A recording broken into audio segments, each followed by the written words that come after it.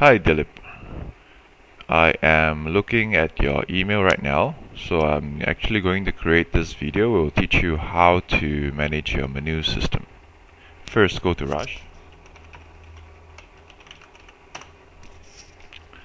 Log in into your administrator account by clicking on this.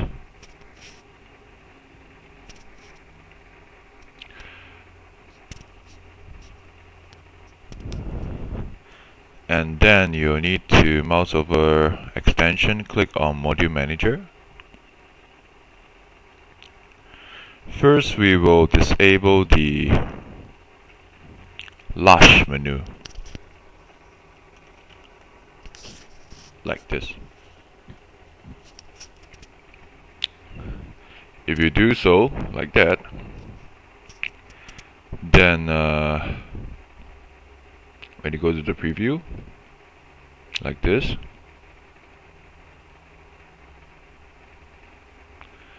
And click on the clubhouse like this.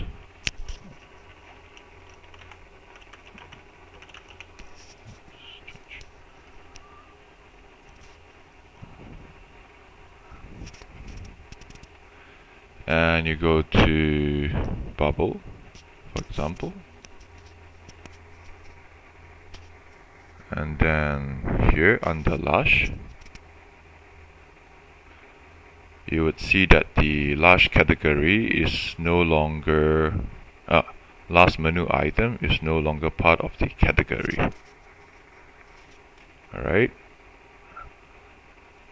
So I read that you would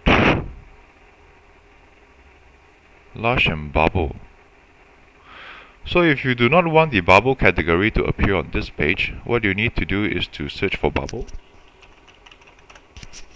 like this and click on it. Now, very simple. So if bubble, you do not wish bubble to actually appear on this page itself, right? Uh, then uh, just uncheck this. And make sure the others actually remain checked.